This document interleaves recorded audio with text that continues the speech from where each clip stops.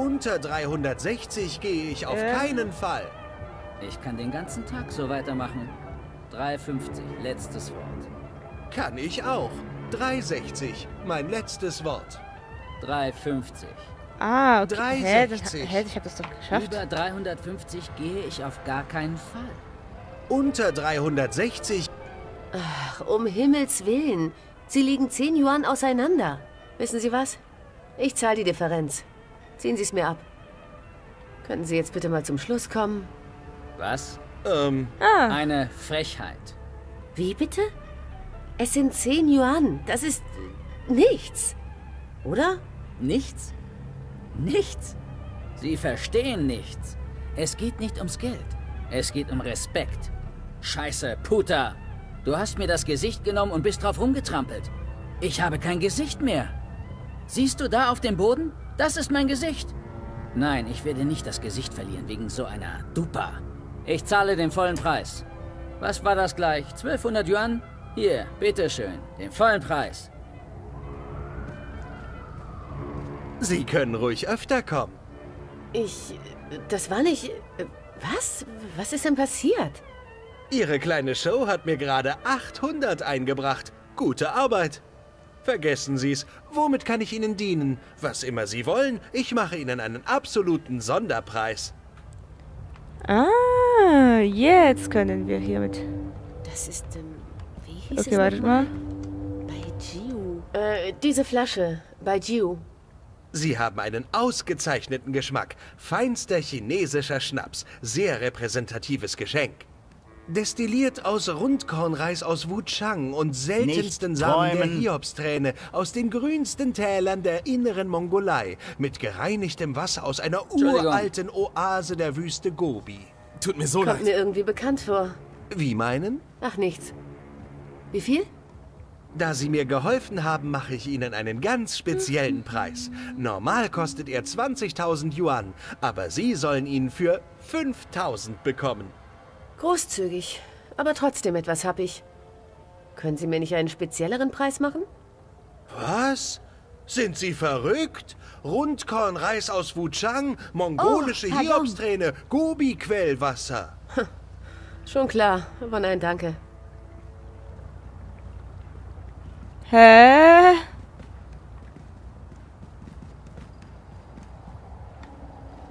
Haben Sie sich's überlegt? Eine so feine Flasche Schnaps zu einem so günstigen Preis finden Sie im Backsteinviertel sonst nirgends. Nö, zu teuer. Ah, okay, wartet mal. Die hat jetzt einen Preis von Man 5000 nennt es den gemacht. chinesischen Markt. Aber es ist eine Mischung aus allem und jedem. Dann gehen wir mal zurück zu dem hier. Und wieso verkauft die Frau da drüben genau den gleichen Schnaps für nur 5000 Yuan? Was? Diese miese, unehrliche Diebin. Wir hatten uns extra auf einen besonderen Preis geeinigt. Ähm, äh, die verkauft eine billige Fälschung. Hergestellt aus miesestem synthetischem Reis und statt mit Wasser mit Importplörre aus dem All. Aber Sie soll nicht leiden wegen Ihrer Unehrlichkeit und Gaunerei. Ich verkaufe Ihnen diese Flasche für 3000 Yuan. Von 20.000 auf 3.000. Ein Sonderpreis. Nur für Sie, nur heute. Ist aber immer noch zu teuer. Das ist mein letztes Angebot. Ich zahle sowieso schon drauf dabei. Okay. ah, dieses Pfeilchen. Ah. Jetzt mal mit ihr reden. Ich habe eine andere Flasche Schnaps gefunden. Der gleiche wie ihrer, aber billiger. 3000 Yuan. Was? Unmöglich! Keiner verkauft diesen Schnaps für weniger als 15.000 Yuan. Das muss eine andere Marke sein. Genau die gleiche. Also eine Fälschung.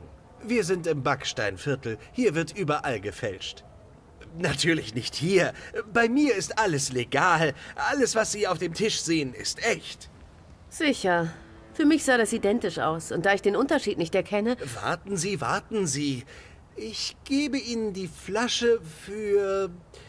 für... zwei. Ich kann nicht glauben, dass ich das sage. Zwei! 2000 Yuan! Perfekt. Sie verhandeln knallhart. Le Äh, Ich hoffe, es macht Sie glücklich, dass meine Kinder heute Abend nichts zu essen bekommen. Das ist schrecklich. Aber damit kann ich leben. Sie sind eine gnadenlose Verhandlungspartnerin. Davor habe ich Respekt. Gut, jetzt haben wir die Schnappe bei, bei, bei Chicho. Was wollen Oder wie Sie? es heißt. Dann gehen wir mal zurück zu Queenie und hoffen, dass das jetzt funktioniert. So, da haben wir es auch schon. Das ist eine Flasche äh, bei Gio. Seltene Samen, sauberes Wasser, handgepflückt, destilliert aus, aus seltenem Reis. Und den anderen Sachen halt. Das sehe ich. Tut mir leid, aber Flaschen mit billigem bei Gio bekommt Queenie viel. Der ist nicht billig, ehrlich. Das ist eine wirklich kostbare Flasche Schnaps. Ich meine, sehen Sie sich das Preisschild an. 30.000 Yuan. Sie sind hier im Backsteinviertel. Preisschilder sagen wenig aus. Ein Moment bitte. Ja, Madame? Das eignet sich als Geschenk. Vielen Dank. Sie können jetzt hinübergehen. Madame erwartet Sie. Legen Sie Ihr Geschenk einfach auf den Tisch und gehen Sie durch. Sie erwartet Sie. Danke. Okay, wir haben es auf den Tisch gestellt, jetzt können wir weitergehen. Schön leise auftreten, junge Dame. Die Erschütterungen stören mich. Ups, sorry. Psst. Und auch nicht reden. Wir haben heute zu. Aber wenn mein Mädchen Sie durchgelassen hat, scheinen Sie ja ein legitimes Anliegen zu haben. Ähm, hallo. Ja, kann man sagen. Ich höre. Ich bin beim Wahlkampfteam der Uminska. Uminska, Lea. Die Einheit? Ich kenne die Sozialdemokraten recht gut, Mädchen. Dann arbeiten Sie also mit Baruti Mafane zusammen. Er ist ein netter Mann. Aufrichtig. Man merkt ihm an, dass er an seine Sache glaubt. Tun Sie das auch? Äh, was? Weshalb sind Sie in die Politik gegangen, junge Dame? Zoe. Castillo. Ich bin äh, in die Politik gegangen, weil Äh, ich will etwas bewirken und hatte Zeit übrig. Aber im Prinzip weiß ich gar nicht, weshalb ich bei der Kampagne gelandet bin. Ich bin noch nicht mal sicher, ob es etwas ist, das ich tun will oder tun sollte. Ich weiß eigentlich gar nicht genug über die Politik in Europolis, um eine sachkundige Entscheidung zu treffen. Trotzdem bin ich hier. Ob ich das sagen sollte? Zum Teil, weil ich etwas bewegen will. Das mag nicht die ganze Geschichte sein, nicht meine Hauptmotivation, nicht mal die ehrlichste aller Antworten. Aber es stimmt, ich will etwas bewegen. Irgendwie. Es ist peinlich, aber zum Teil ist es deswegen, weil ich Zeit übrig hatte und etwas Nutzbringendes damit anstellen wollte. Es ist nicht so, dass ich voll hinter dieser Politik stehe, aber es schien mir ein geeignetes Ehrenamt zu sein. Ich will etwas bewirken und hatte Zeit übrig. Aber im Prinzip... Ich, ähm... Na schön. Formulieren wir die Frage mal anders. Einfacher. Warum die Uminska? Weil die Alternativen so übel sind? Kaiser Wolf, Dieter Gross, die Marxisten. Ich würde nicht in einer Stadt leben wollen, die von denen regiert wird. Vielleicht ist die Einheit keine perfekte Option, aber in diesem Fall ist sie sicher das kleinste der vielen Übel. Allmählich glaube ich viele der Dinge, die die Uminska sagt, tatsächlich. Ich war nie sehr politisch, aber es scheint etwas dran zu sein. Für viele Leute. Wenn ich höre, wie Baruti von ihr spricht, kann ich nicht umhin zu glauben, dass sie die richtige Frau für den Job ist. Und dass die Sozialdemokraten dazu beitragen können, dass man in Europolis besser leben kann. Warum die Uminska? Vielleicht wäre die ehrlichste Antwort, dass ich es nicht weiß. Es ist eben die Kampagne, bei der ich allmählich glaube, warum die Uminska? Vielleicht wäre die ehrlichste Antwort, dass ich es nicht weiß. Es ist eben die Kampagne, bei der ich gelandet bin. Sie ist sicher besser als Kaiser Wolf. Vermutlich besser als Peter Gross und die amtierende Regierung. Und ich glaube kaum, dass die Marxisten in absehbarer Zeit zu Potte kommen. Egal, was Nela sagt. Allmählich glaube ich viele... Ich glaube an sie. Ich nehme an, Sie sind gekommen, um mir zu erzählen, wie sehr Sie an Lea Uminska glauben und mich zu überreden, Sie vollstens zu unterstützen. Ich kann nicht verkaufen. Das bin ich nicht. Ich bin nicht Baruti. Mein Glaube an die Uminska und die Partei ist nicht stark genug. Und vielleicht wird Queenie merken, dass es mir an Überzeugung mangelt und ich habe nichts zu ver... Ich kann nicht verkaufen. Das bin ich nicht. Ich bin nicht Baruti. Mein Glaube an die Uminska und die Partei ist nicht stark genug. Und vielleicht wird Queenie merken, dass es mir an Überzeugung mangelt und dann sind wir die chinesischen Stimmen los und Baruti sein Job. Ganz toll, fantastisch. Ich habe nichts zu verlieren. Es wird Zeit, große Geschütze aufzufahren und die Dinge beim Namen zu nennen. Oh Gott, ich kann sowas nicht. Aber mal ehrlich, weshalb sollte irgendjemand was anderes wählen wollen? Besonders wenn die wahrscheinlichste Alternative Kaiser Konstantin ist. Vielleicht käme die aggressive Verkaufstour unehrlich rüber. Sie scheint mir jemand zu sein, der Ehrlichkeit mehr schätzt als alles andere. Nein, ach was, ich versuch's gar nicht erst. Es wird nicht aufrichtig und ehrlich genug klingen für sie. Baruti hätte hier kommen sollen, nicht ich. Ich bringe das hier einfach bloß so schnell wie möglich zu Ende und gehe wieder. Vielleicht käme die... Wollen Sie, dass Konstantin Wolf Europolis regiert? Ich möchte wissen, was Sie wirklich auf dem Herzen haben, Senorita Castillo. Wonach suchen Sie? Seien Sie ehrlich zu sich selbst. Vielleicht suche ich gar nicht so sehr nach dem Sinn, sondern ich sehne mich einfach danach, irgendwo hinzugehören. Zu jemandem. Frieden zu finden. Annehmen zu können, wer ich bin, wo ich bin. Zufrieden zu sein. Ich glaube, was ich tatsächlich suche, ist eine Art Sinn hinter all dem. Die Verschwörung, das Koma, die bruchstückhaften Erinnerungen, all das. Ich will, dass das alles einen Sinn ergibt. Und ich will nicht länger das Gefühl haben, dass ich meine Zukunft nicht selbst bestimmen kann. Ich vermisse meinen Dad.